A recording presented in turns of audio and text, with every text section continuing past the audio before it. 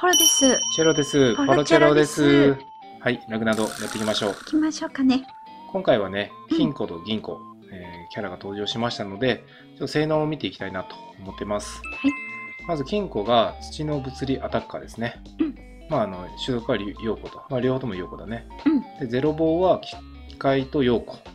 なんで、まあ、土の陽子、うん縦持ちが来ましたねというところですね。来ましたね。で、まあ、結構似てるんだよね。やっぱり金庫、銀庫っていうだけあって。あでまあ簡単に言うと両方ともゼロコを持ってる状態。で強くなるキャラ、うんゼロコ特化キャラみたいな感じかなイメージとしては、うんゼロコとゼロヒギでプラス40%アップしたりとか、うん。まあ、ゼロコ中にねブレイクヘイスト10秒作ってこれ初めてじゃないかなああ、そっかうん。うんうんであとはフルチェゼロヒギゼロコで30%アップっていうねうんなんか最近フルチェゼロヒギゼロコっていうのがあんまなかったと思うよねうん。うん、それがまあちょっと結構久々に来たなっていうところだね。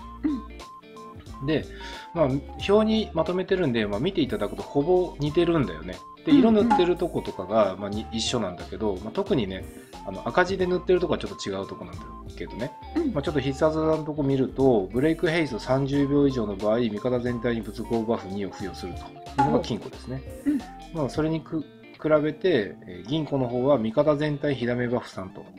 うんなので、まあ、使用条件としては銀庫の方が使いやすいね。ここだけ見ると、ブレイクヘイスト30秒って結構な、結構気合がいるくない？多分私たどり着かない気がするよね。そうそうそうそう。だけど30秒って書いてると、お、すごって思うかもしれないけど、ちょっとここがハードルが高いイメージがありうんます。うん。であとはね、フルチェインのところかな。えっと6回目うんに関して、まあ、両方ともゼロコの回数をプラス1にするっていうのは一緒なんだけど、うん金庫は味方全体に物攻バフ3を付与すると。で、それに比べて銀庫は味方全体に効力150で回復しますというところがちょっと違いかな。うんうん。で、奇数回は両方ともブレイクヘイストを10秒付与すると。これかなり強いよ。1、3、そうね5、7、9っていうその奇数回の時にブレイクヘイストが10秒ずつ増えていくわけで、うんうん。もしかしたら使ってみたら案外この30秒っていうさっきハードル高いよねって言ったのが結構すぐ行ったりするのかなちょっとわかんないけどそこで貯めてね。うーんちょっとわかんない掛け軸とか使ったらいきそうな気がするけどね、うんうん。うん、であと偶数回は、えー金庫はねプラス30%アップするんですけど、銀庫はそれに加えて味方全体効力50回復と、うん。回復もするし火ダメも軽減するしっていうところでまあここまで見る感じだとまあ攻めの金庫守りの銀庫みたいな感じかな、なんかちょっとうまいこと言ってますけど。そうやろ。なんかちょっとねそんなちょっとパコってはまったくない今。そうですね。ね。であとは、えっと、ゼロコーの CT 短縮。これはあの鬼教官とかもよく僕使ってるんですけど、CT って何？えっとね、クールタイムあ、クールタイム。あわかんない。すごい威張って言ったけど違ったらごめん。と俺は思ってるけど。だから結局あのいきなり使えるってことだよね、ああ。うん、ゼロコーって結構さ最初使えないじゃんいきなりは、うんうん。ちょっと時間経って使えるんだけど、うん。このゼロコー CT 短縮っていうのがついてると、まあ、いきなり使えますよと。おー。なんで、まあ、寝落ちとか装備して、まあ、例えば一戦とか装備してさ、うんするといきなりゼロヒギ、ゼロコーフルチェーンみたいなうんうんのができちゃいますよっていうおね。ーそしたらブレイクヘイストもついてきますよと。っていうキャラです。なるほど。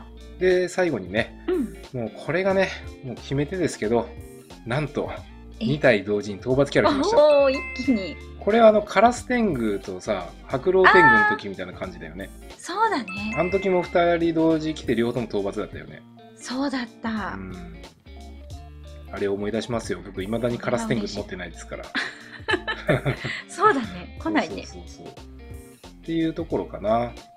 で、まあ、適正コンテンツとしてはうん、まあ、いろいろあるんだけど、えっと、まず金庫はね、うんえー争奪戦の一騎打ち。あのうん昼間のやつのね、最近新しくみんな行ってるところです。あそこの一騎打ちの土ですね。うん。今までね、土いなかったんだよね。まあ、いたけど、ねちょっと火力点数出せにくかったんだけど、うんうんまあ、今回、この金庫が来たことによって、土が結構放置気味だったんだけど、うん。土に行く人たちのグループができそうな気がするね。ああ、そううね。んこ。れは欲しい。まあ、他のギルドの人たちはどういうやり方してるかわかんないけど、結構土放置ししがちな感じがしてて、ちょっとやっぱ点数出しにくいから。そううね。ん、でも今回この金庫が入ることによって土の点数も稼げるからまたちょっと争奪戦がねね変わってくるんじゃないかなと思います。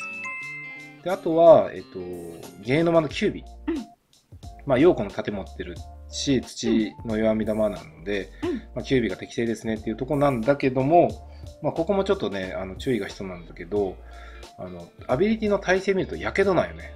うんでも、キュービーがやってくるのは呪縛なんですよね。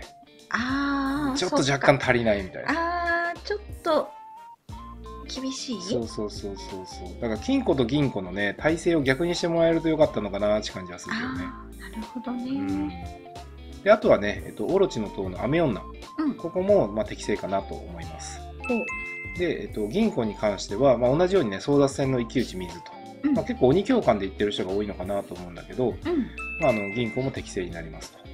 であとはね、えっとまあ、さっき言ってた体制の呪縛うんがまあ関わってくるんだけど、まあ、争奪戦の、ね、ボスがあの呪縛をしてくるボスがいるので、まあ、そこにもね、あの水の弱み玉を割りやすいというところで、まあうん、一騎打ちしながらボスも望めるというところですね。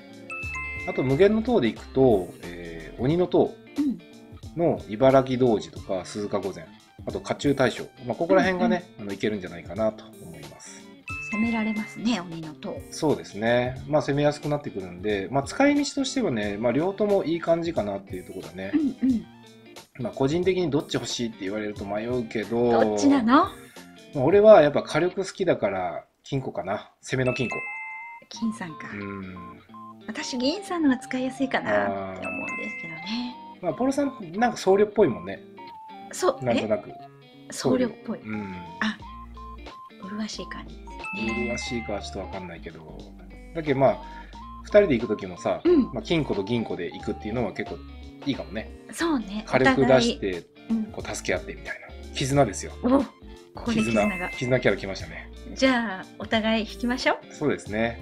まあ、討伐キャラなんで両方とも欲しいところですけどね。うんまあ、もう討伐っていうだけでね、もう石に余裕がある方はぜひ引いた方がいいかなと思います。そうねやっぱ揃えたいよねうん。まあ、後で引けばいいや、とはなんないんだよね、討伐キャラの場合って。っていうのが、やっぱあの、毎日毎日さ、討伐キャラって報酬もらえるじゃん。うんだから、早くセットしとった方がより揚力上がるから、そううん、期間が長いとはいえ、引くんだったらなるべく早めがいいかなっていうところですね、うん討伐キャラなんで。そうですねはい。ということで、まあ今回ね、参考になればいいかなと思います。まあ、最終的に引くかどうかっていうのは、まあ、討伐というだけで引くべきということですね。はい。では今日はこの辺でご視聴ありがとうございました。ありがとうございました